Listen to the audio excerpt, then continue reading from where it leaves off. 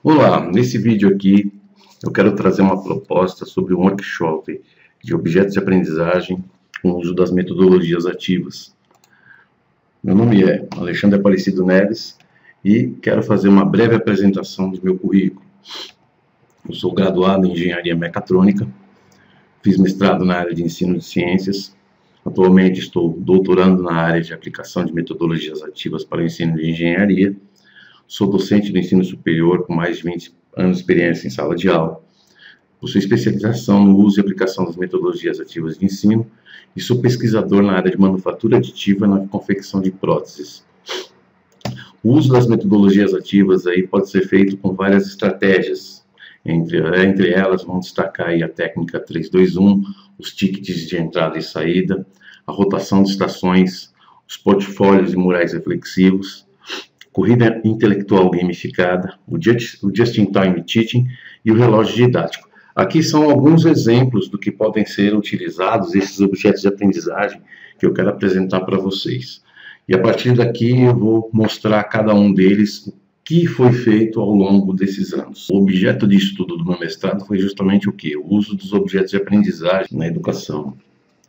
Então, fiz aí uma uma leitura de, de vários lugares, né, de vários locais que eles disponibilizavam alguns objetos de aprendizagem, simuladores e elementos que são importantes para nós numa aula, né? Então aqui tem um que eu acho assim bastante interessante porque ele ele pega desde a educação infantil até o ensino superior. Então ele tem diversos objetos aqui só para poder citar como um exemplo, pegar aqui do ensino médio, tem alguns casos aqui que ele traz, né, biologia, física, filosofia, geografia, história, língua portuguesa, matemática e química.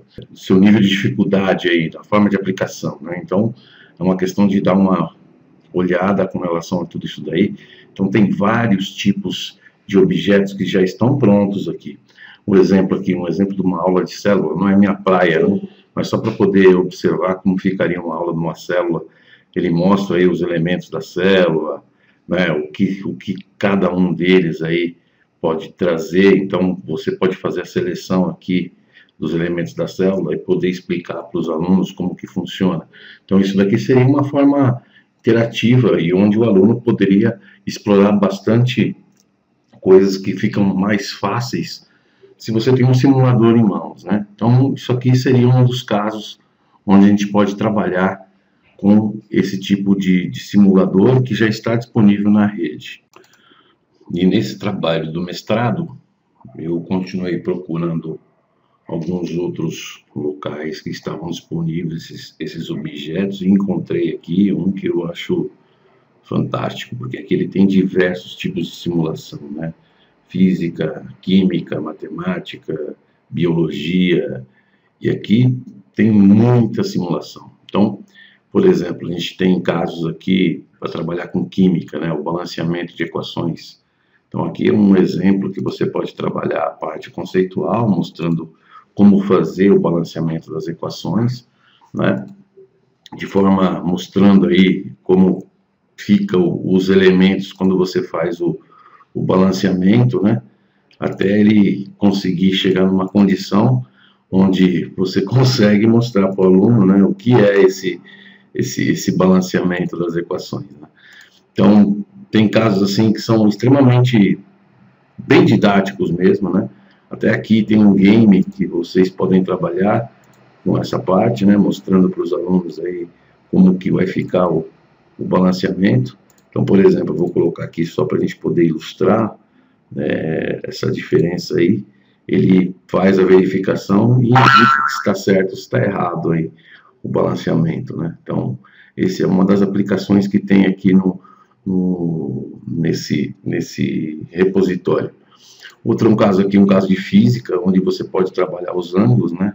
Os ângulos de tiro com relação à parte de lançamento de projéteis. Então, você pode deslocar um alvo e nesse alvo você mostrar ali qual é a massa do, do elemento, ele já traz algumas condições onde você pode mostrar ali os vetores de aceleração e velocidade. Então, por exemplo, você quer fazer um, um tiro aqui com, 45 graus, então eu vou disponibilizar o alvo aqui, que eu já sei que o resultado vai ser esse, e aí ele vai trazer ali os vetores, mostrando qual é a aplicação dos vetores, você pode modificar aqui também, então a ideia é mostrar exatamente isso daí, né? Trigonometria tem aqui um, um, um objeto que é bastante interessante também, onde você pode trabalhar as relações trigonométricas do triângulo, mostrando também como que funciona aqui no, no no eixo, né? Em relação às funções trigonométricas, você pode trabalhar com graus e radianos. Tem uma outra aplicação assim que eu acho legal também, que é essa daqui, que é uma aplicação de é, seleção natural da área de biologia. Né? Não entendo nada de biologia, mas só para poder mostrar uma aplicação quando você tem aí uns elementos, quando você adiciona alguns elementos, o que acontece né, com relação à seleção natural. Então, isso aqui eu acho assim bem bem bacana também para poder mostrar para os alunos aí numa aula de biologia. Não conheço nada, mas é uma, uma condição que a gente pode trabalhar bastante, mostrando para eles como é que funciona tudo isso daí, tá? Então, isso aqui seria uma outra condição para poder apresentar para vocês também aí nesse, nesse workshop que eu estou propondo. Um dos elementos mais utilizados para o desenvolvimento dos objetos de aprendizagem, nas disciplinas de matemática e física principalmente, é o GeoGebra, que pode ser utilizado tanto um aplicativo na, na máquina, né, instalado na máquina, como também pela sua versão online, que seria essa versão que está aqui. E aí, um exemplo aqui que nós temos é o exemplo da função do primeiro grau, onde você pode movimentar os cursores aqui e ele apresenta uma modificação na, na função de acordo com os elementos que você está colocando. E além disso, ele tem outras utilizações, né? Onde você pode trabalhar com as funções trigonométricas, pode trabalhar com as equações de segundo, segundo grau, pode trabalhar até com os conceitos de ótica geométrica, que ele também faz uso de alguns elementos gráficos, utilizando imagens, e que você consegue deixar é, personalizado da maneira que você acha melhor para poder se utilizar dentro de uma aula. Esse aqui é um dos softwares que você pode utilizar como um simulador, onde você tem bastante aplicações, bastante elementos que você consegue diversificar sua aula da melhor forma possível.